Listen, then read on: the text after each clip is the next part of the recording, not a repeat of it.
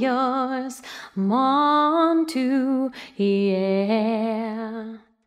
One happy birthday dot com.